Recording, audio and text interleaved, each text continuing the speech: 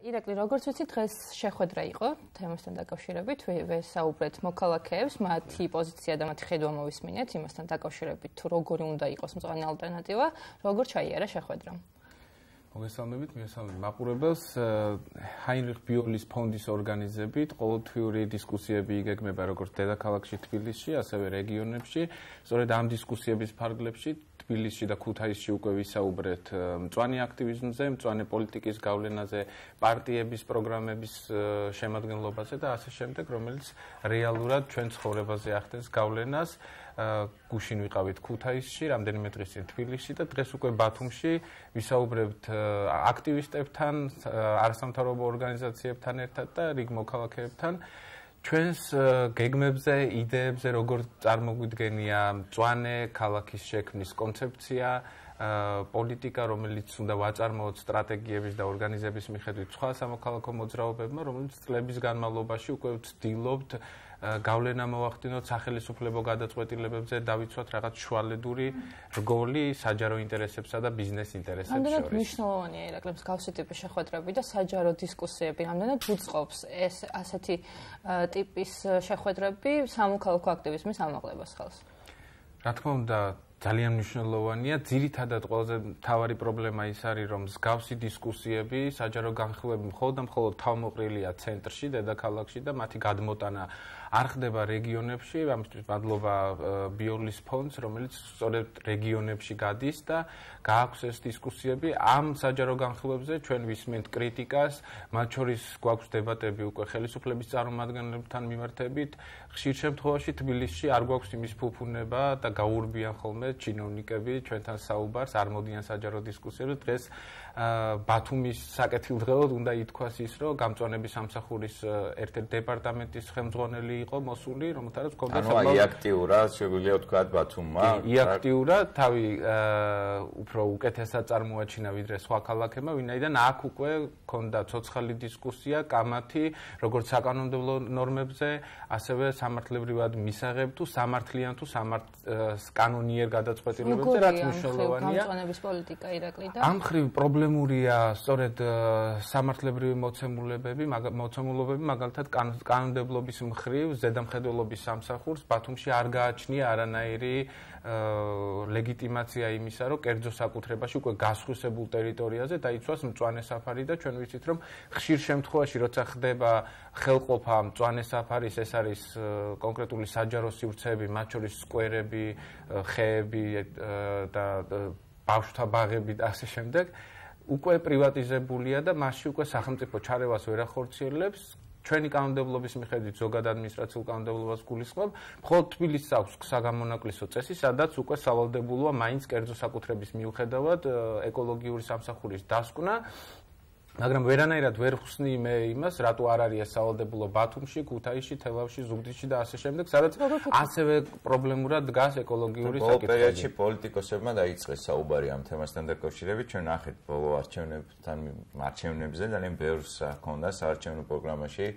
აი თბილისის ვავიღოთ სიცოცხლით სავსე ქალაქი, ან გამწვანებული თბილისი და ასე შემდეგ. ამდენად მნიშვნელოვანია მათი რა თქმა უნდა მნიშვნელოვანია მათი ჩართულობა, მაგრამ ამდენად სრულდება მსგავსი ტიპის დაპირებები და ამდენად გააქვთ თქვენ მოლოდინი იმის რომ აი ეს არჩევნო დაპირებები, რომელიც ქონდათ მათ გაცემული, შეიძლება შესრულდეს და აი ეს არტვანი ალტერნატივა, რაც ჩვენ გვაქვს ახლა, რასაც სულაზეც ვაუბრობთ, იყოს რეალობაში მოყვანილი. ეს არის ყველაზე მნიშვნელოვანი მიმართულება ჩვენი დისკუსიის, რაც დღეს ჩვენ გქონდა ამ მოხსენებისთვის მცირე გამოკვლევის სახით რაღაც შევისწავლე 2008 წლიდან 2017 წლის ჩათვლით საპარლამენტო და თვითმმართველობის არჩევნებში გამოქვეყნებული საარჩევნო დაპირებები პროგრამები. 2014 წელს იყო განსაკუთრებით აქტიური მეგონი ამ შემთხვევაში, იმიტომ რომ მაშინ დაიწყო ზუსტად სამოქალაქო აქტივიზმი დაარსდა პანემუშტი პარტიზანულმა ბაღელობა და ასე შემდეგ. ზუსტად, ზუსტად ამას ამას უსვამდით ჩვენ ამ დისკუსიაზე ხალხს, რომ 2008 წელს 4 საპარლამენტო პარტია გვყავდა და მათ პროგრამაში ნული იყო მოცემულობა გარემოს დაცვითი საკითხების. მას შემდეგ, რაც 2013 წელს დაფუძნდა ეს მოძრაობები,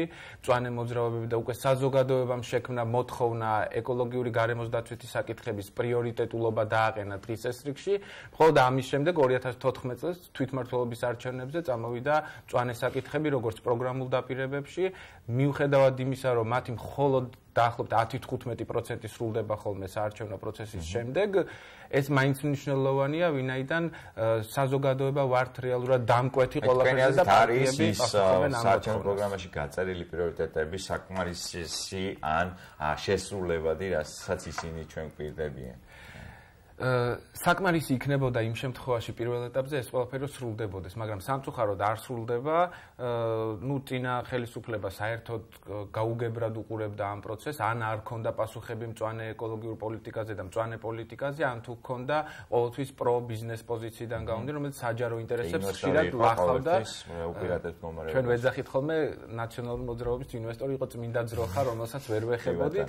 ქართულ ოცნებაზე უნდა ითქვას ის, რომ 2008-დან 2000 17 წლის ჩათვლით საუკეთესო პოლიტიკური პროგრამა გარემოს დაცვის მიმართულებით ქონდა 2012 წელს, ყველაზე მრავალფეროვანი საკითხების მიმართულებით და ყველაზე საინტერესო და ყველაზე მოცულობითი ამ პროგრამის ავტორი იყო ლაშა ჩხარტიშვილი, ეკოლოგი, რომელსაც ჩვენ ვიცნობთ საზოგადოებრივი აქტივობიდან, მაგრამ მოხდა ის, რომ ერთი წლის შემდეგ, როცა ლაშა ჩხარტიშვილმა დაინახა, რომ ეს ყველაფერი იყო მხოლოდ ბუტაფორია და ფურცოზე გაფორმებული დაპირებები, რომელიც არ სრულდებოდა, ზუსტად ერთი წელი და სამი თვე დაჭირდა თუ სწორად მახსოვს ლაშა ჩხარტიშვილს, რომ გამიჯნოდა ოცნებაზე, საკმაოდ ხმაურიანად გაემიჯნა მაშინ ქართული ოცნების ამ საარჩევნო პროგრამაზე და თქვა, რომ მიუხედავად ამ დაპირებებისა, რომელზეც მე პასუხს პასუხისმგებლობა ავიღე და შევადგინე, საწინააღმდეგო სრულდება და დღეს იმავე ჭიდილში ვართ სამოქალაქო მოძრაობები, სტუდენტური ჯგუფები, რომლებიც ხშირად აგრესიულად რაც საზოგადოებას არ მოსწონს, ვიცავთ ამ ჩვენ საჯარო სივრცეებს. ირაკლი, შედეგი რომელიც თქვენ მოიტანეთ 2000 13 წლიდან დღემდე არის ძალიან მაღალი და ამას მე მგონი ყველა ხედავს, მაგრამ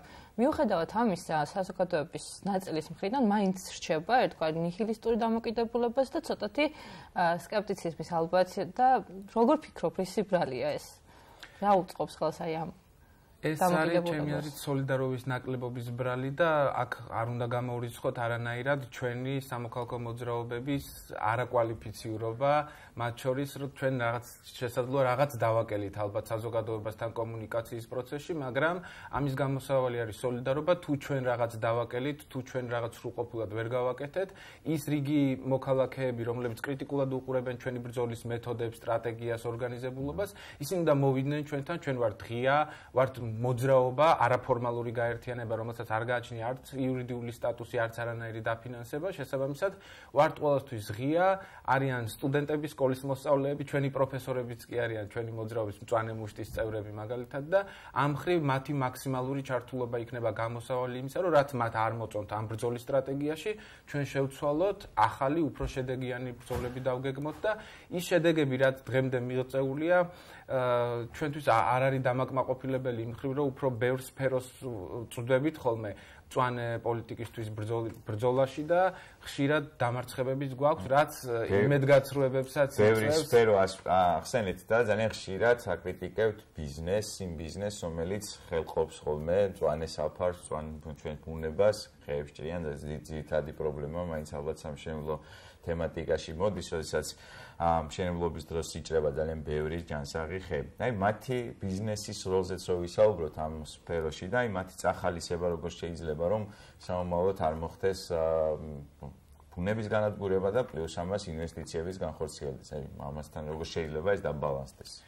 აუცილებლად უნდა ვიპოვოთ ბალანსი ეკონომიკურ განვითარებასა და საჯარო ინტერესების დაცვა ინტერესების დაცვას შორის ეს გარდაუვალია ძალიან ბევრი პოლიტიკოსი აპელირებს იმაზე რომ ბიზნეს ჩვენ ვერ შევზღუდავთ რაღაც ამოდენიმე ხის გამო. ძალიან ხშირად გამიგია მსგავსი ტიპის შეფასებები და აი თქვენ აი ამ რა შეიძლება ოქროშვალედი მოიზემოს ამ დროს ოქროშვალედი არის რეგულაციები თუ ჩვენ ვადგავართ დღეს დასავლეთის პროევროპულ გზას სოციალური სახელმწიფოს გზას რომელიც თავარ ღირებულებად აღიქვამს ადამიანს და არა შენობებს, ჩვენ უნდა აღვიქვათ ის სწორად, რომ ეს 6 ხე თუ ავიწროვებს ბიზნეს, ამ 6 ხის არარსებობა მავიწროვებს მე, ჩემს ოჯახს, ჩემს საჯარო სივრცეებს, ჩემი შვილის ჯანმრთელობას და ასე შემდეგ.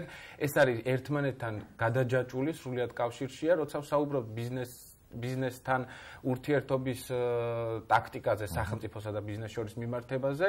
სოციალური პასუხისმგებლობის მქონე ბიზნესი არის ალბათ ერთეული თითქმის ძალიანად ცოტა მეგულება მსგავსი. ამის საუკეთესო საშუალება არის ჩვენ და სამწუხაროდ და მათ და სამწუხაროდაც ალბათ.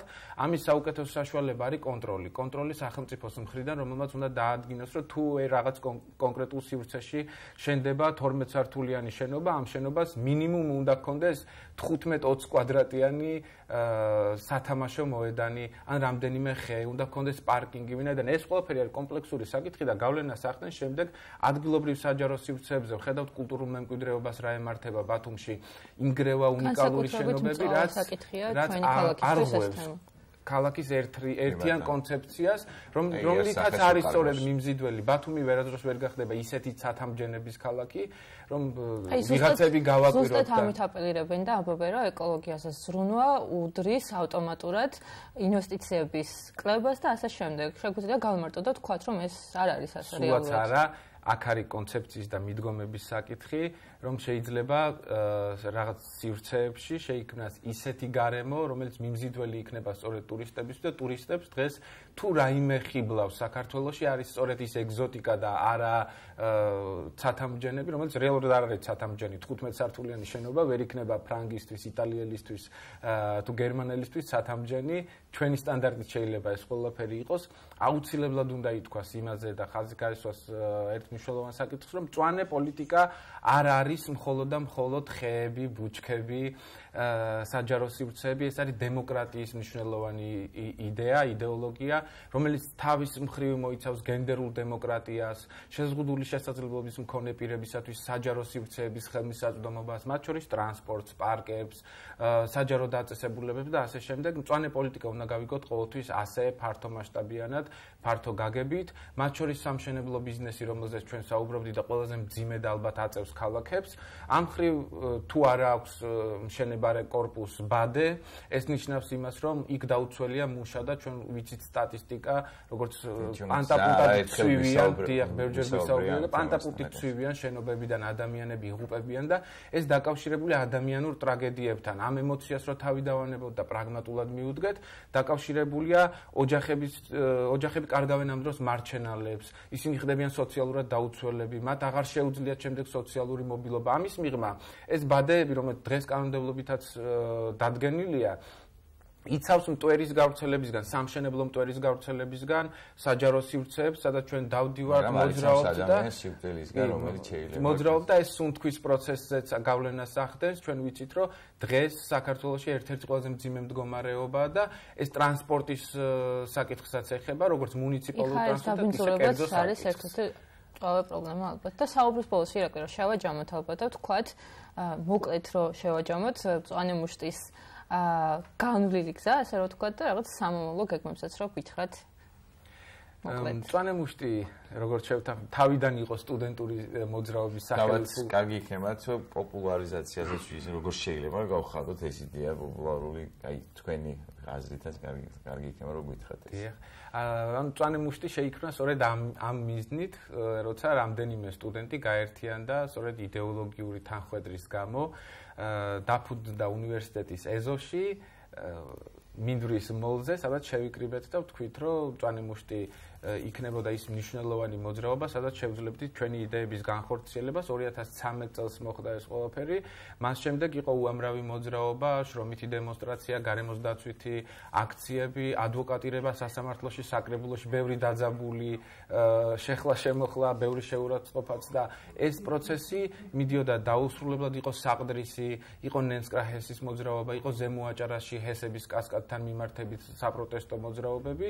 აღარ ვსაუბრობ იმ შრომ შრომით დავებზე, რომელიც ტყიბულში, ჭიათურაში, კაზრეთში, ბოლნისი, რუსთავში რკინიგზელებთან მუდმივად მიმდინარეობს და ჩვენ შრომით პროცესში ჩართული ვართ, ვინაიდან წვანეობა ეს არის იდეოლოგია, ეს არ არის მხოლოდ გარემოს დამცველობა და მინდა ვთქვა, რომ წვანეობა რეალურად არის მომავლის იდეოლოგია, ვინაიდან ის დამყარებულია სწორედ მეცნიერებაზე, სწორედ მეცნიერება გვაწვდის ჩვენ არგუმენტებს იმისთვის, რომ ვისაუბროთ, რომ ეკოლოგია არის მნიშვნელოვანი, შრომით საკითხები არის მნიშვნელოვანი. პროგრესული გადასახადები სახელმწიფოში არის მნიშვნელოვანი, რომელიც ქმნის სოციალურ გარანტიებს, სოციალური დაცვის სხვადასხვა მექანიზმები, მათ შორის ჯანდაცვა, დაზღვევა, ეს ყველაფერი არის მწვანეობის შემადგენელი ნაწილი და იმედი გვაქვს, რომ ეს ჩვენი სულისკვეთება თუ რაღაც ბრძოლა, რომელიც აი ქალაქებში სიარულს მოიცავს, საუბარს მოიცავს, არ დაიკარგება უკვალოდ და ბევრი თანამოაზრე მე ამეგულება ალბათ საქართველოსი ადამიანი ვისაც არ უნდა გამწვენებულ გარემოში ცხოვრება შესაბამისად ალბათ ყველა ადამიანის სურვილი უნდა იყოს